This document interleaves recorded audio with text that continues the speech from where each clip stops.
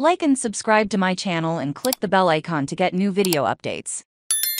Dolly Parton drops her Rob Halford duet Bygones and her cover of Heart's Magic Man. Listen Dolly Parton's storied rock album is fast approaching. Later this year, Country Legends will release Rockstar, the new LP that appears to exist in response to Parton's induction into the Rock and Roll Hall of Fame, an honor that Parton initially declined as she didn't consider herself rock and roll. Enough. The cover Heavy Rockstar tracklist unveiled last month is a really off-kilter document that includes phrases like this, Stairway to Heaven, Feet,